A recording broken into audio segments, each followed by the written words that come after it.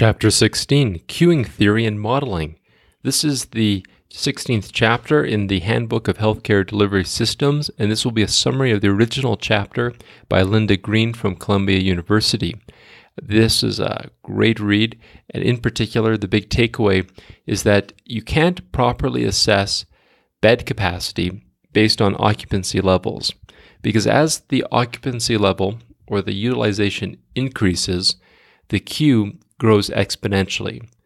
And in general, it seems that when utilization gets over 85%, it starts to lead to exponential delays and wait length increase.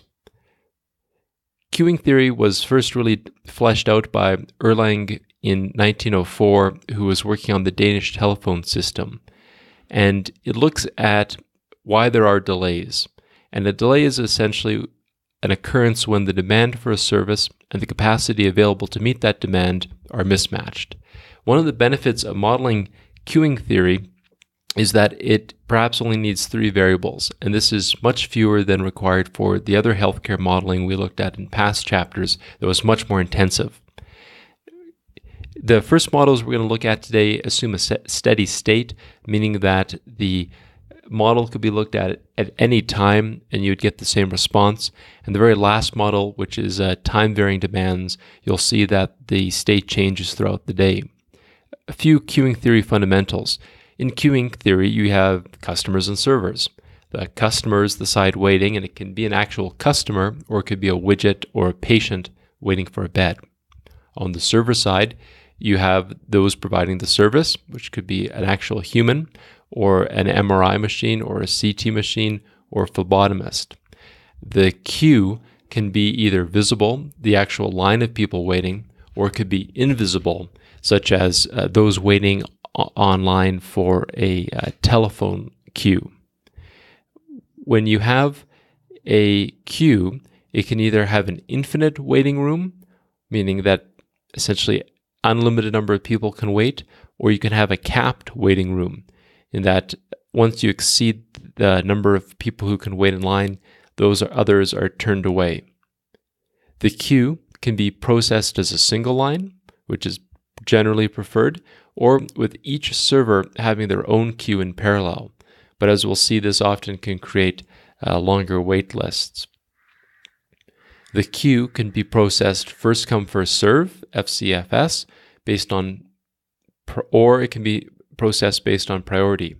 And when you're processing a queue based on priority, it can either be preemptive or non preemptive. Preemptive means that if a customer with a higher priority comes in to the queue, that they will bump out a lower priority customer if they're already being served. And the non preemptive priority queue means that if a higher priority customer walks in, they have to wait until the next server is free. Let's move on to utilization, delays, and system size. Utilization is simply the average number of busy servers divided by the total number of servers times 100. Two really important takeaways on general utilization principles. And the first is on this graph right here, if you're looking in the video or on the blog as the utilization increases, the average delay or the wait list increases. And it is important to realize that as utilization increases, the queue grows faster, meaning that the relationship between utilization and delay is not linear, but in fact exponential. As you can see here, there is a kick to the curve or an elbow where at a certain utilization, the rate of increase of the queue length dramatically increases. The exact place at what utilization the curve will experience this kick and that the delay will start to rise exponentially can vary based on two factors. The first is variability. In systems that have less variability, you can ha- experience a higher utilization before you experience the exponential lengthen queues. The second variable is the total system size. If you have a system with, uh, for instance, more beds available, you can use those beds at a higher utilization before you experience this kick of the curve. Therefore, you could imagine the worst possible scenario being one where you have a smaller system size and you also have very high variability. This means that you would be prone in the system to experiencing exponential increases in your queue length earlier on than if you had a very large system with low variability. The book discusses some simple queuing models. It looks at the idea of a Poisson process, which is used for many healthcare processes where patients arrive one at a time at random intervals, and that their arrival is not dependent on other customers or on external events. And then using this Poisson process, you can develop an M slash M slash S model, and that relies on the Poisson process, an unlimited waiting room, identical servers, and a single queue. And in this model, you can essentially set your desired service level, meaning that if you want 85% of calls answered within 20 seconds, you can also uh, extend the model to uh, work for priorities, meaning that you could calculate 90% uh, of emergent and urgent patients being seen by physicians within 45 minutes, uh, or you could extend the model to place a cap on the queue length. It's interesting uh, that in healthcare in America, in order to apply apparently for something which is called a certificate of need, in order to expand the number of beds in your hospital, you need to have an average occupancy level of at least 85%. And in the prior chapters, uh, one of them discussed that in factories, factory owners look to expand their infrastructure when they start to reach around, I believe, 85% capacity. And uh, we'll see exactly why that is important right now as we move to the section on fixed capacity queues. Now, in a fixed capacity queue, you could imagine, um, for instance, that being a CT scanner or an MRI machine or the number of beds in an ICU. The server is actually, in these cases, typically an object. And it's important to realize that the type of modeling we're doing here is not uh, scheduling appointments. For instance, if you had a CT machine and you were scheduling in slots to use that machine, in theory, you won't have overlap in your schedules and a queue will not develop.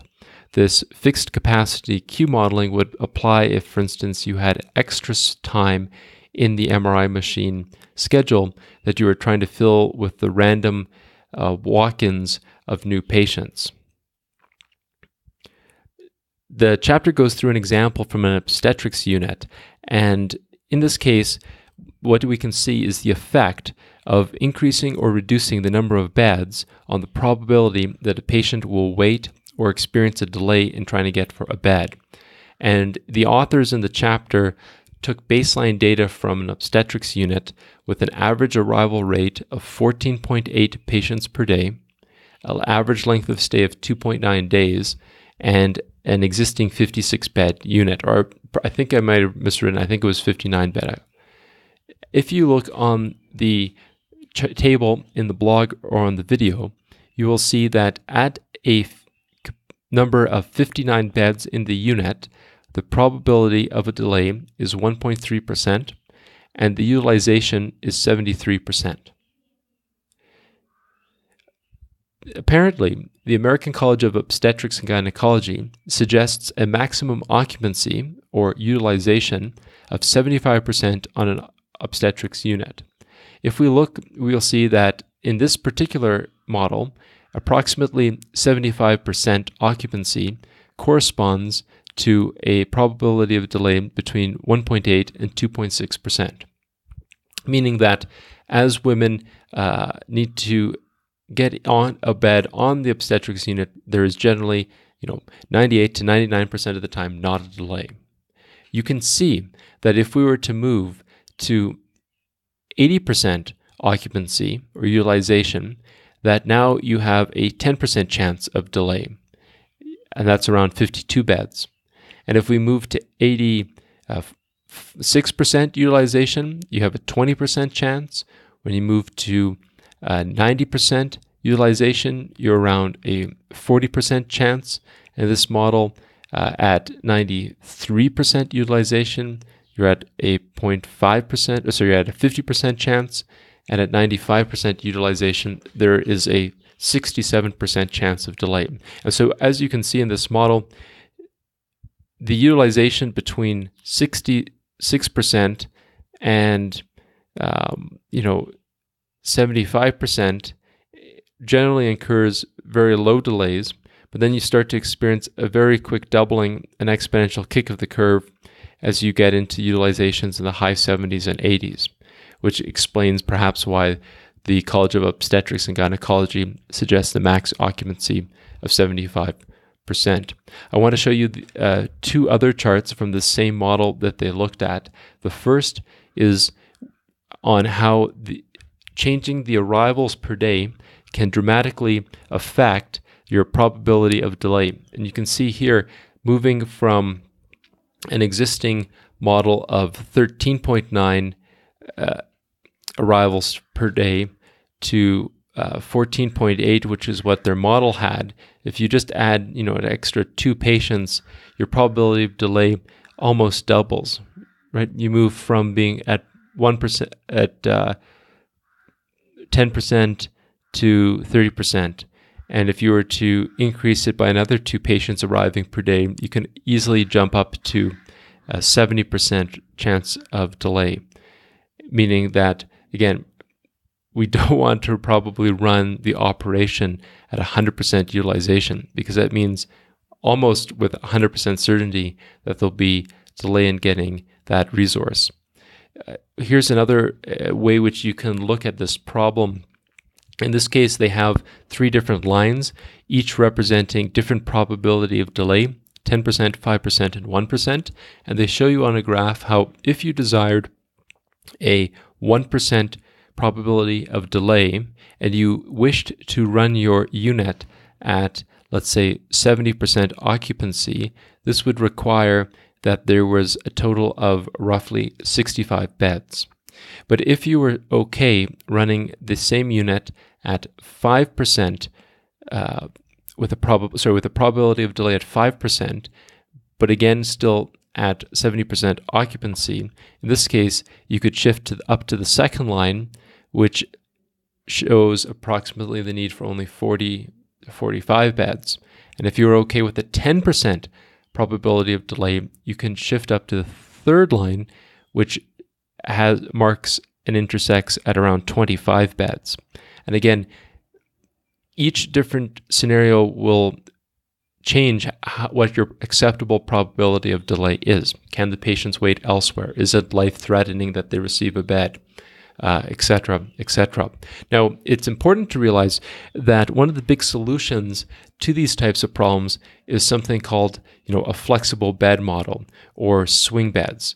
And the example would be that if you had a unit where in one season the beds could be used for flu, such as when you have an increased number of admissions uh, during that period, if there was a counter cyclical season where those beds could be used perhaps for ATV rollovers, then in the summer, the ATV rollovers and uh, you know orthopedic surgery trauma could use the, that ward, and in the other season, the swine flu patients could or just the flu patients.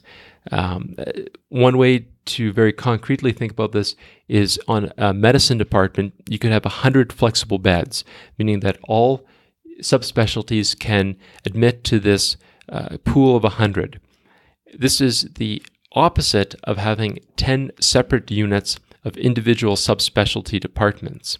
The problem is that if you were to run a ward of 10 subspecialty beds at 70% capacity, meaning that seven of them were filled. Because your total number of beds is much smaller, as we discussed in the previous chapters, you're going to incur the kick of the curve when you get an exponential queue growing much sooner than if you actually had all 100 beds together and then you ran those at 70% uh, capacity. It's still the same number of beds being filled, but your ability to absorb uh, queue length is dramatically different. Very last part is to discuss the fact that patients uh, don't always arrive in the exact same uh, independent manner. And a typical example is the emergency room, where less patients arrive overnight and more patients arrive in the morning and throughout the day. This can be plotted as seen on the graph in the uh, do- document, and the way which you can calculate your queue length if you want to adapt for this variation in day is you can subdivide the day into uh, groupings of either two hour periods or four hour periods or six or eight. It doesn't matter. In this particular example, the authors uh, subdivided it into periods of two hours, and they calculated for each period of two hours using the MMS model um, and the assumption that no patient, sorry, that no more than 20% of patients should wait for more than one hour before being seen by a provider, exactly how many physicians were required throughout the evening, morning, and daytime shifts. And by uh, this example that they did in the book, they pulled some of the physicians which were working overnight to working into the early morning shifts to uh, meet these queuing models. There we have it. Uh, again, this chapter is available if you want. You can uh, loan the book actually online, Handbook of Healthcare Delivery Systems, and uh, I'll certainly be finding in the future some other books on queuing theory.